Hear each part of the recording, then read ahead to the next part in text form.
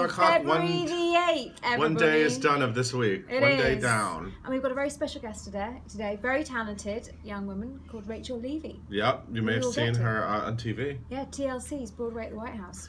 Um, but we're gonna get to her. But right now we have some news. News. So news just in that Sandy Duncan, who is uh, supposed was supposed to be starting in Finding Neverland on February the 9th, that's been pushed back to February the 12th.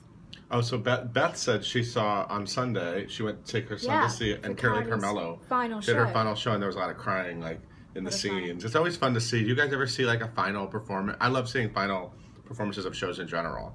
But even in like an actor, even when the show's going on. So I- anyway, I just Anyway. I just thought of that because okay. Sandy Duncan will be going on. Do we know when yet? Uh, the 12th, Okay, which is Friday. Friday. Friday. Uh, meanwhile, Alan Mingo Jr., who was on Broadway in the original cast of Little Mermaid, he played Sebastian.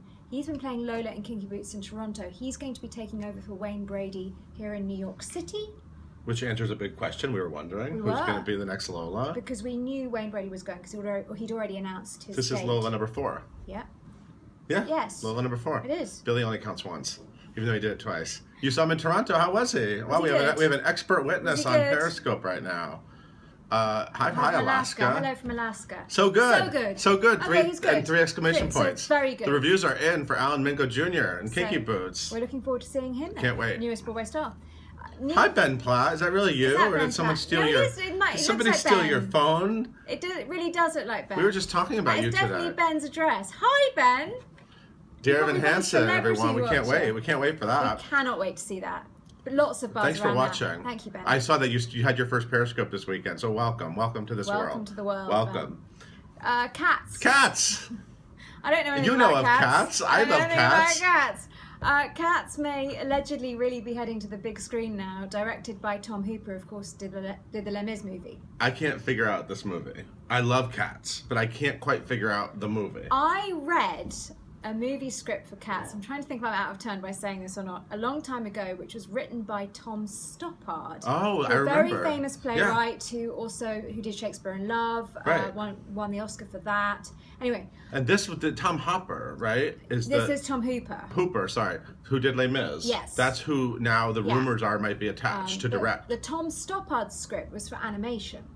That's right. and it was very And this is, but this is not animation. This is well, I don't think so. They're no. gonna put them all in the big junkyard on actual trash, a bunch of models. Is I don't. what well, our, our story, I'm our story says something about sure. models. Well, point being, I perhaps need to make a call to get some further information on this. okay, yeah. Jeffrey thinks those rumors are false. I don't Okay, know. thanks, we'll find Jeffrey. out. We We'll may have some out. connections on that story. I might be able to find Anything, out.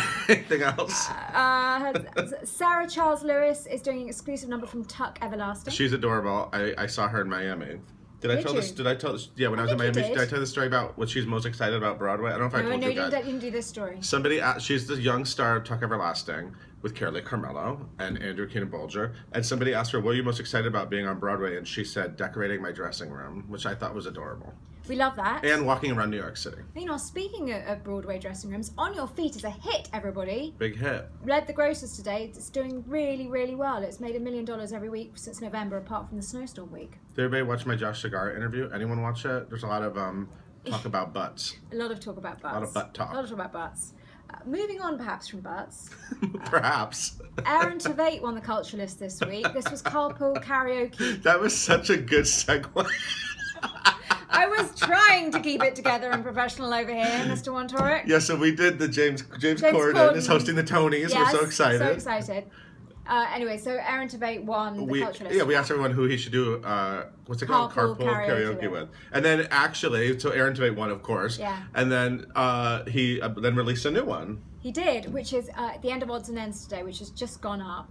And um, was it with? He was with Elton John, and Wow. they did the most brilliant The Lion King one. It was absolutely fashion brilliant. alone is- and is James so good. Corden was dressed as a like. It was just brilliant. You just go to Odds and Ends and have a look at that.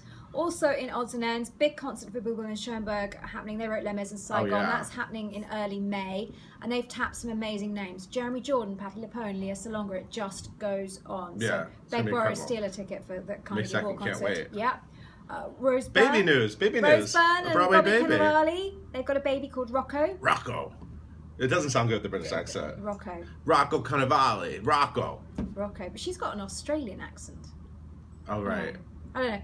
Uh, and The Good Wife, which has provided much employment for Broadway actors over the years, uh, is going to be no more. People are so May. sad about this. They are. Not, I mean, you like you mentioned this morning in the morning meeting, like so much employment for Broadway Exactly. actors, so many Broadway actors. However, the showrunners, who are obviously big supporters of Broadway actors, they are moving on. They'd already announced they're moving on from uh, The Good Wife to do that new Aaron Tveit thing in in Washington D.C. Brain oh, that's there. so oh. that's them. So I think So Broadway maybe actors will still be employed using- because they're using, like Broadway stars. But they're using Nikki M. James. They're using Tony Shalhoub. We know they're using Aaron Tveit. Yeah. So they obviously love Broadway people. So that they're, they're still around. So hopefully that show Brain Dead will be a hit. It's got Aaron Awesome. Tveit in it. You'll all watch. I'm sure it'll be a big hit. Awesome. That's all. That's so. That's so good. It is when is so that movie gonna? We don't know when that TV show's I- starting. I, I want to say fall, but maybe that's. I'm not quite sure. And when's that Cats movie gonna come out? no comment. I don't know if that's gonna. I, I, I'm I don't curious. curious. What we do know is Cats will be on Broadway this summer, starting previews in July and opening in early August. And Jellicle Ball is back. Jellicle Ball and the White Cat. I always wanted to be the White Cat. I'm sure you did. I did. I never wanted to be Grisabella. Some people want to be Grisabella, but I never wanted to be Grisabella. I wanted to be the White Cat. And the the played by- gorgeous white cat in the middle of the by- It was played by Finola You didn't want to be the old No, prostitute walking by. I didn't. And Finola Hughes played it in London, and then she came over here and became a huge soap star. Look, fun fact. Fun fact. Have I heard anything about, about our- Fun Home closing? uh, no, oh, it didn't. we have not heard about Fun Home closing. It didn't do very well in the grocers this week, but uh, it'll be fine. It'll it'll it'll carry on. And you actually want to go to the Philippines to watch Fun Home because Lea Salonga is going to do Oh my there. God. It's going to be amazing. Aren't we all flying to the Philippines Yes, we are. It's a it's a it's a Broadway.com trip. Maybe we should ask Lea Salonga to come and do an exclusive. She could do her big number on Live at Five before she Yeah. Leaves. I'm going to see Allegiance. I'm going to see Allegiance again tomorrow. So I want to see it again before she leaves. It's the final week. Final week. final week. That ends on. Uh, Okay. Valentine's Anyway, Day. let's bring Right, our, our bring beautiful young guest star. Bye, Paul. Are you ready? To introduce No, her? Yes. Rachel, is it Rachel- Levy or Rachel Levy? Levy. Levy, Levy, Levy. I've already found. I've already Applause, applause. Wait. Oh, I hit the wrong button. Wrong button. Hit Sorry, the Rachel. right button. Rachel Levy Levy. Rachel Levy. Come in. Welcome to Live at Five. Now, everyone's going to recognise you from TLC. You did Broadway at the White House, didn't it? And you did. duetted with Kristin Chenoweth. Yes, I did. How did that come about? Um, well, first we got invited to go to the White House, and then Is that your school? it's my performing arts center. Okay. And um, And what's that called? We ought to give them a shout out. Morristown There we Performing Arts are. Center. Love the hearts, they're all happening. um, yeah, and then she selects someone every time she sings for good in her concerts and everything, and I happened to be selected, and it was really awesome. And then Michelle Obama gave you a standing ovation, didn't she? She did. That must have been incredible. it was like I felt like I was like dreaming and just like throwing up on the inside. it was really cool. And now you've got your own show at 54 Below, and you've Did. done one, didn't you, on February 2nd? Yeah. And you've got another one, when's that? Wednesday. On There's Wednesday. still tickets. So still tickets to your show. So how did that go? You've suddenly you- you're on TV. It was your TV debut, right? Yeah. And now suddenly you're doing 54 Below, which is this venue which all these huge stars like Sierra Boggess and Jeremy. Jordan and It's like rubbing my feet against the floor. um, yeah, it's really cool. I'm doing a bunch of my favorite songs, and so good. Well, what what sort of songs are you doing? A few tastes. I'm doing The Wizard and I. Okay. Um, my new philosophy, on my own, a bunch of classic theater songs. So you're having an amazing time. I am having an amazing time. So have you been performing for forever? When did that start? When I was like six. Okay. Well, probably when I was like two, and I would dress up and Yeah. dance on my couch, but I wasn't performing for anyone except my dolls. So. And then at six, what happened? Did you start getting? Do you, I was there a teacher or? Um, I started taking voice lessons, and then I auditioned for a performing troupe that ended up being an off-Broadway show, and I got in, and that was my like start, I guess. And how old were you when that happened? Eight.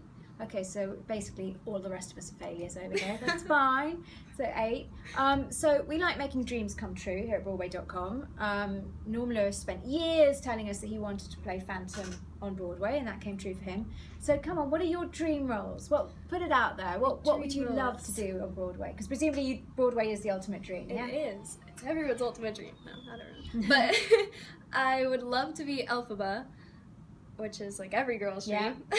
uh, I would love to be Sally Bowles. Elphaba rather than Glinda. Yeah. Okay. I like to be like the wicked. You want to be the wicked? I want to be green. You want to be green. Okay. Yeah. Green's good look. It's a good look. Why not? Um, I would love to be Sally Bowles in Cabaret. Mhm. Um, I don't know. I have so many dream roles. So many. and you're and you're singing them at 54 below. I am, which is awesome. And so when this is done, you're going back and you're still training with your theatre troupe. That's the that's Yes. the plan. yeah, um, my voice teachers and everything. Um, just continuing, Continuing. my studies. Well, thank you very much for stopping by. Thank and so it's what me. date is it? At 54 below. it's Wednesday, February 10th. Wednesday, February the 10th. So buy your tickets, 54 Below, on Wednesday, February 10th, and catch Rachel there. And we will see you all for Live at 5 tomorrow. Thank you for watching today. Happy Monday, everybody.